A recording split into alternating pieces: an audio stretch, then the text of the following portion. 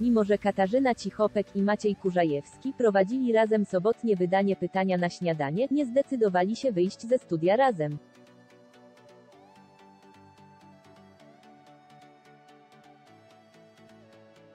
Domyślacie się dlaczego od głośnego coming outu Katarzyny Cichopek i Macieja Kurzajewskiego minęły właśnie dwa tygodnie.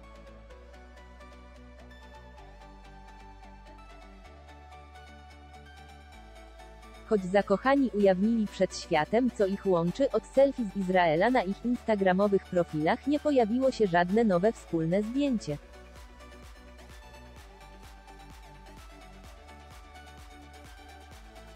Co prawda prezenterzy od tamtej pory pojawili się już razem na antenie pytania na śniadanie, starają się raczej nie obnosić ze swoją relacją.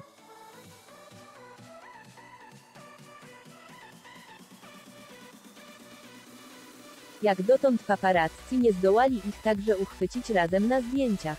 Partnerzy bowiem nawet z miejsca pracy starają się wychodzić oddzielnie.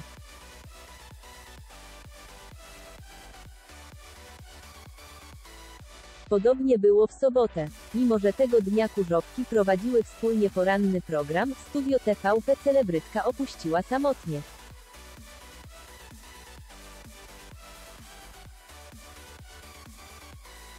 Wychodząc z budynku stacji, której jest twarzą, Kasia sprawiała wrażenie zamyślonej.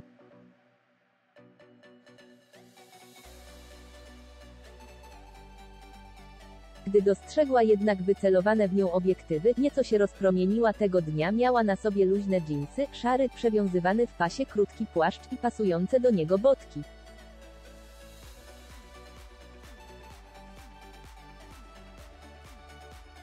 Mimo braku słońca Cichopek zdecydowała się także założyć na nos okulary przeciwsłoneczne.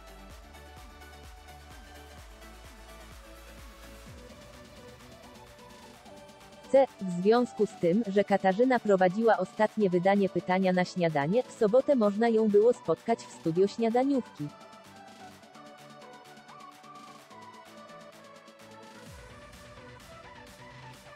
Mimo że program prowadziła ze swoim zarówno zawodowym, jak i życiowym partnerem, po raz kolejny sfotografowano ją solo.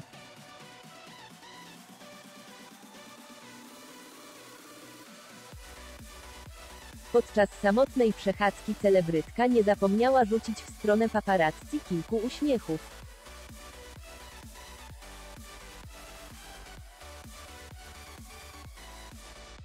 Tego dnia Kasia postawiła na jesienną stylizację, na którą składały się szary płaszcz, botki i dżinsy.